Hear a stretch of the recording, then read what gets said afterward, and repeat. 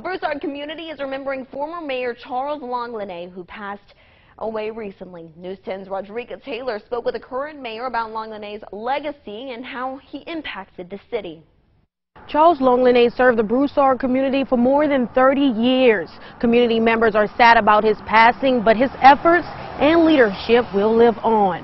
Our thoughts and prayers go out to his wife Carolyn and his entire family and we're going to do everything we can in the city to honor his heritage and what he's what he's done for us.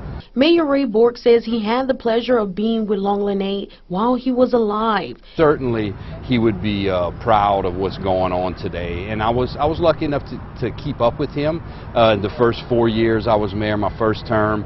Uh, I talked to him every once in a while, and he was just always excited about the growth of the city and its future. And growth of the city is what happened under Langlinais's leadership. Mayor Bourque says says putting Broussard on the map has been a major accomplishment of Langlinais.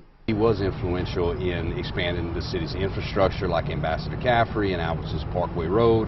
He also was very focused on attracting new businesses to Broussard. Even today, you can see the efforts of Langlinais's leadership as development continues to grow in the area. The complex we're standing in now, Walmart and Home Depot, that all happened under Charlie's leadership for the city and you know the city definitely benefited in that kind of growth. A new business opened up for T-Mobile and many city officials celebrate with a ribbon cutting. His legacy is going to re be remembered in our city and we're going to do everything we can to honor that legacy for him. In the famous words of Charles Langlinais, get it done. Reporting in Broussard, Rodrika Taylor, KLFY, News 10. Mayor Bourque says in the next seven days, all city flags will be flown at half-staff in honor of his service to the city.